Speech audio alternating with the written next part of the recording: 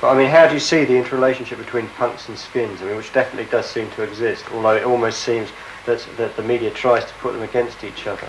Yeah, the media does, but I don't think it's working. The only difference, I mean, they've got the same taste in music, and the only other difference I can see is the way they dress. I mean, do you think the skins, the, the supposed bad reputation of the skins is deserved, or is it is, it, is that a media thing? as well? No, I mean, they're boisterous, but no more than anybody else. They're no more boisterous than anybody else. I mean, The media likes, seems to, like a music that doesn't have anything to say. It doesn't tell them anything. It's just a tune they can hum to. You just hum some catchy little chorus.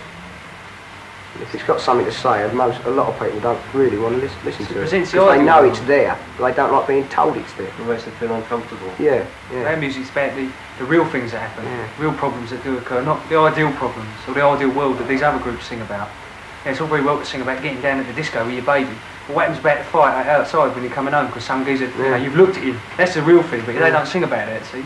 Yeah, I mean, there's hundreds and hundreds of discos in London you can go to every night of the week.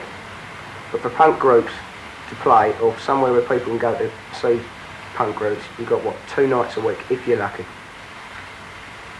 I mean, it, it rules the airways, disco music, rules the charts. We're just saying, we're not saying that Smash, Smash the Disco's actually up. We're saying, for Christ's sakes, have- give something else a listen. Comes on the studio winner. Check out David Darcy.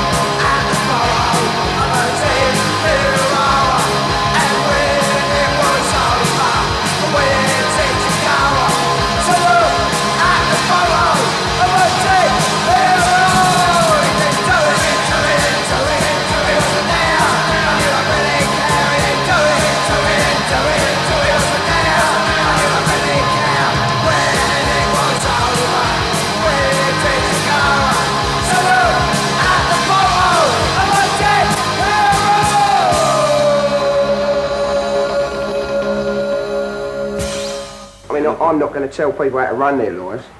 We're just trying to, you know, help people think for themselves by what we're saying. But how much do you think people listen to your lyrics? I mean, do you think they actually listen to them? I think they do, yeah. Yeah, the amount of kids that come up to us and talk about them and this, this, that and the other, you know. There's a lot of things need to be done with society as a whole. We Get the people to work together rather than against one another. Get a community spirit back. I think would be pretty good. How do you think you could do that?